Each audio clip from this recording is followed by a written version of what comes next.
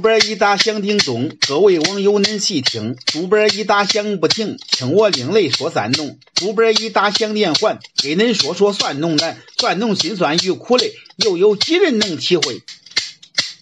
如今种算不划算，一入算行泪满面。我说算能真心酸，面朝黄土背朝天，蒜店蒜柜都泪流，几家欢喜几家愁，辛辛苦苦忙一年，不够化肥种子钱。待远时间咱不谈，简单说说一八年，算价低的没法比，算农真的伤不起，忙忙碌碌去种蒜，收获一个算你贱，收购价个几毛钱，算农有苦也难言。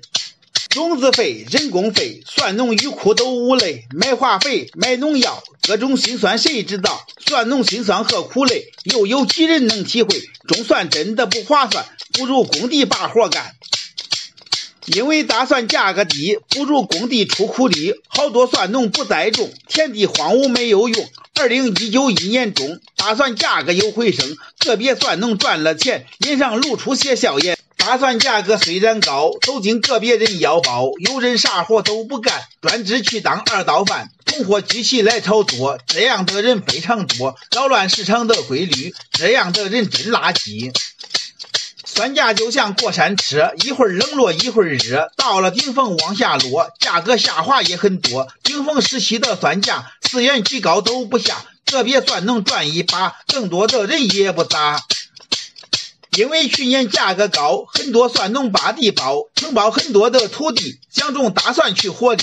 蒜农大面积扩种，盲目跟风不冷静，今年产量非常高，价格肯定不会飙。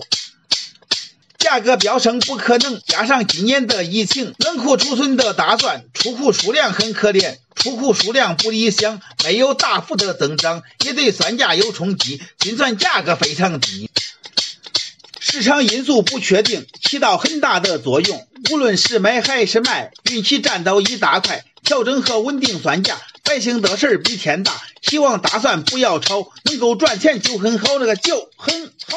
农民就是累，农民就是累。地球人都知道我做人很狼狈，金钱是玫瑰，是带刺的蓓蕾，让人尝尽缺失的苦水。农民就是累，农民就是累，全世界都知道你赚钱很疲惫，用你的汗水来换真和美，农民受苦受累谁安慰？